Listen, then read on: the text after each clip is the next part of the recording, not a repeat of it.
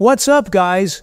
Welcome back to the Go Anfield channel. Jamie Carragher has provided insight into the dispute between Jurgen Klopp and Mohamed Salah on the touchline during Liverpool's recent match against West Ham. The Reds struggled to a 2 2 draw at the London Stadium, further complicating their position in the Premier League title race. While Jarrod Bowen initially put West Ham ahead with a header, Liverpool rallied after halftime, with Andy Robertson netting the equalizer before Cody Gakpo's fortuitous goal, which found its way in via three deflections off West Ham players. However, their comeback hopes were dashed when Bowen set up Michael Antonio, who headed past Alisson to salvage a point for the Hammers. Amidst the chaos of that crucial moment, TV cameras captured a heated exchange between Klopp and Salah. Salah, who was benched for the second time in a week, was seen waiting to come on alongside Darwin Nunez and Joe Gomez, when the disagreement unfolded. Nunez intervened to defuse the situation, guiding Salah away as tensions flared. When asked by TNT Sports about the row and if he could discuss what had been said, Klopp responded, No. We spoke already in the dressing room. For me, that's done. But former Liverpool defender Carragher believes Salah might have been at fault. Quote tweeting a clip of the incident, Carragher wrote,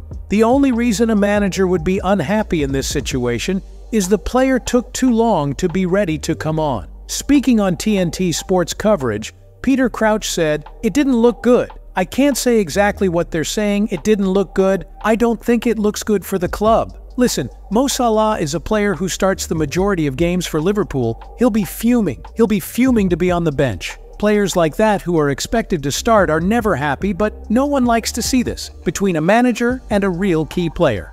Ally McCoist added, Not good at all, particularly when you see Mo Salah coming back for another bite and one of his teammates has to intervene. It does not look good. That kind of stuff should be behind closed doors. Liverpool defender Stephen Warnock agreed on BBC Radio 5 Live, saying, it is not good to see at all. You have two people who are equally important to the football club. The connection between the two has to be of respect and respect how they have helped each other's careers.